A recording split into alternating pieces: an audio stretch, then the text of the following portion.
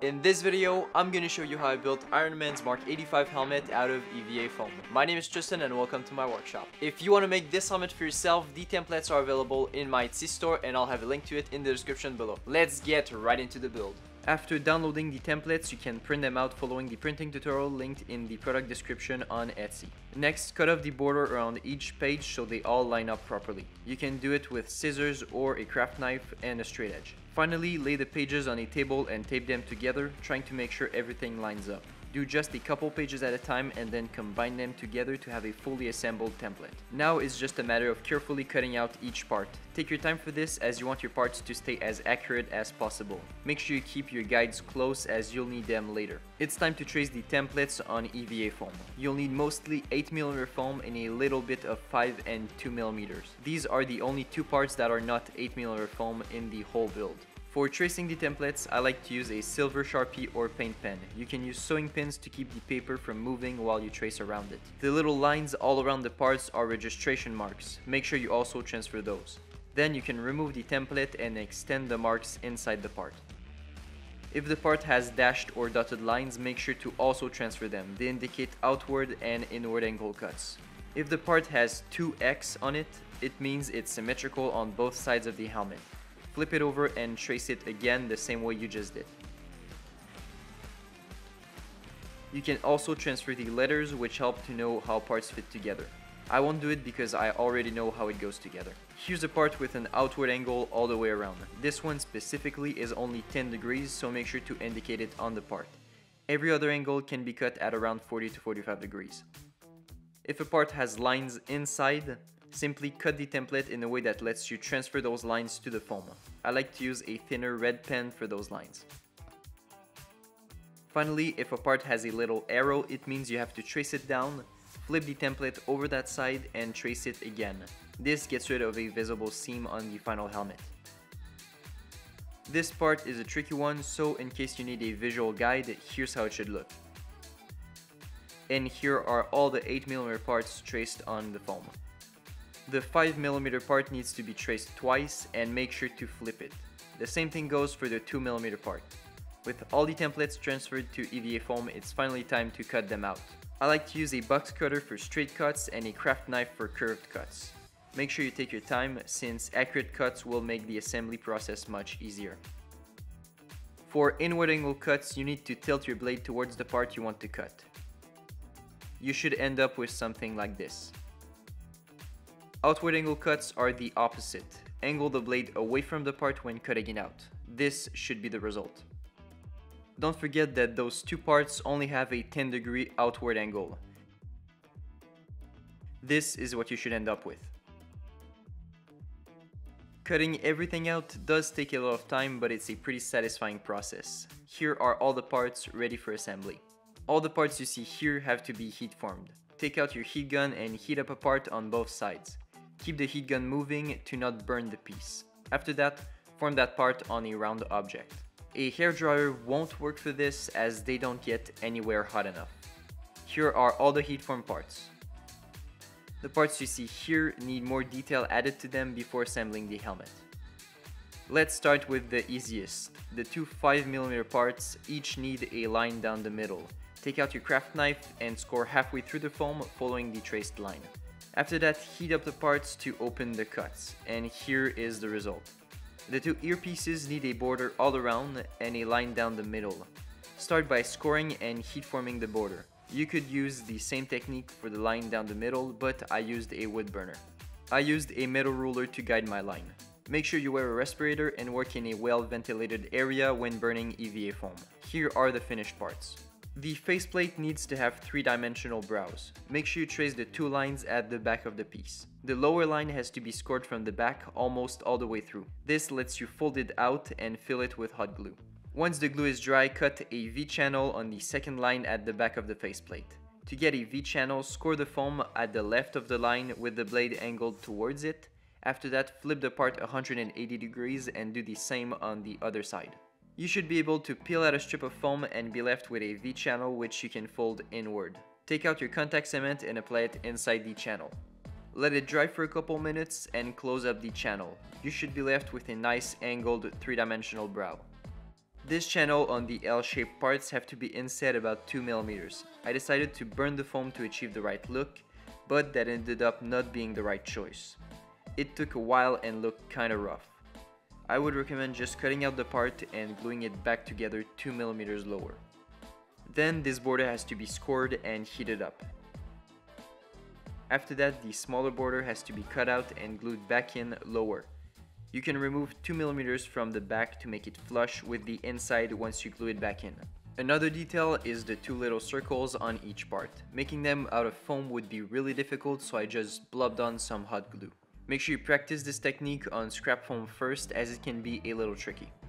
Finally, the piece needs to fold inward in this corner. Simply make a V-channel at the back and glue it closed with super glue. All those parts are finally finished. With all the details added on, it's finally time to assemble the helmet. Let's start with the dome and you'll need those three pieces. I'll use contact cement for this build, but wearing a respirator is really important because contact cement releases toxic fumes. Some people brush on two coats of glue, but I found just one works just fine. Carefully stick together the two longer seams on the dome pieces. Before going any further, some edges have to be rounded. I like to use my Dremel with a stone bit for rounding EVA foam. You have to round off the three edges at the front of the dome, the three edges at the back, and the three corresponding edges on the smaller piece. After that, simply glue on the smaller piece at the back of the dome. The next part to assemble are these three, but first round off the whole earpiece, those three edges on the upper part, and the two front edges on the detailed piece. Assemble the three parts as shown here and after doing the same thing for the right side you should end up with this. Let's assemble the lower front of the helmet. Start with the chin piece on the upper piece and make sure you center it properly. After that glue on the lower trim piece and this looks pretty good. The next assembly is the whole faceplate and mouth and you'll need all the remaining parts. Start by closing up the darts on the faceplate. After that, round off the edges of the top half of the faceplate down to the ears. Also round off the bottom edge. You can also round off the eyes to give them a cleaner look. Next, the mouthpiece has to be rounded all the way around, and those parts have to be rounded on both ends. Once that's done, you can glue the two upper cheek parts on the faceplate, followed by the mouth. And that looks pretty cool. Now the lower cheek pieces need to be glued on, but make them flush with the inside, so they sit 2mm lower from the outside. The last parts to add are the eye frames. You have to glue them inside the faceplate. It's pretty difficult, so really take your time on this step. And the faceplate assembly is done. Now you should be left with 5 big parts. I started by attaching the faceplate to the lower front part. Go slow and make sure the 5mm piece sits at a 2mm inset. After that, it was time for the dome, which was pretty easy. Finally, I added on both ear modules. The last parts to fit are always the hardest.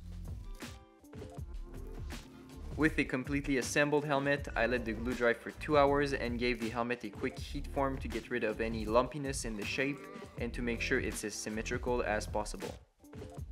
It's time to prep the helmet for painting, so to seal it I decided to use Mod Podge. This time I mixed black and white paint in it to get a grey base coat. I wanted to have a sturdy and sandable finish so I applied 5 good coats. After that I used 80, 120 and 220 grit sandpaper to remove the brush strokes and to get a smooth surface. Then I used Liquitex light modeling paste to fill in any imperfections on the helmet. After applying the filler you can use water to smooth out the surface. After two coats of filler, I use sandpaper and a sanding stick to sand down the filler and make it flush with the surface of the helmet. It's finally time to prime the helmet. I sprayed on two good coats of sandable automotive primer. Then I went over the whole helmet with 120 and 220 grit sandpaper to remove any texture which I might have missed before. Then one last round of filler with a bit more sanding gave me an almost perfectly smooth surface. I applied one last coat of primer to have an even color and then moved on to a gold base coat. I sprayed on two light coats. I masked off everything that shouldn't be gunmetal and sprayed on two coats of Duplicolor automotive paint. Then a bit more masking for the red and two good coats of a nice metallic red also from Duplicolor. The final color to apply is the black for the eye frames. I decided to brush on acrylic paint for this part. One weird thing that happened with my helmet is that the paint was glossy in some areas and matte in others. I did more testing and realized that this paint should dry matte. I just applied it a bit thick in some spots. That's no issue because my plan was always to use a nice two-part finish for my clear coat. This one is from Spraymax and it's a little expensive but it's super durable and looks really nice. The reason I didn't use a one-part clear coat is that almost all of them dull the shine of the gold paint and turns it an ugly shade of yellow. After two good coats the helmet looks amazing, although I'm not very good with masking and some of my lines weren't very clean. So to hide that I decided to weather the helmet just a little bit. I used brown and black oil paint for that. Unfortunately, I lost the footage of the process, but you can check out my videos of the Boba Fett armor and helmet. I used the same method there. Next, let's add some fake paint chipping with chrome paint. I applied it with a small brush and a toothpick, but I made sure to sand the area first so that the paint sticks better. I only added paint in a couple specific spots to keep the scratches subtle. Those are LED eyes with a battery pack and a switch. You can find them for pretty cheap online and they even come in different colors. I simply hot glued them inside the eye frames. After that I added upholstery foam inside the helmet to make it fit better.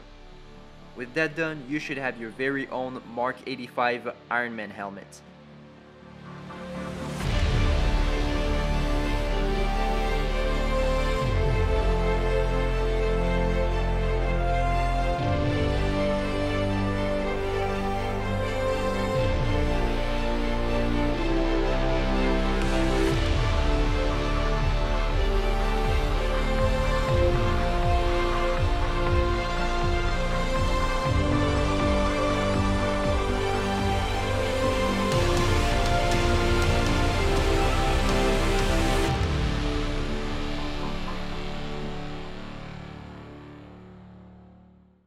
Here's the finished helmet, and I think it looks really cool. My favorite part is of course the paint job, which is super glossy and metallic. Of course the faceplate doesn't open, but if you want a challenge, you could try to make yours able to open. As I mentioned before, the templates for this helmet are available in my Etsy store, so you too can make your own. And I'll see you next time. Bye.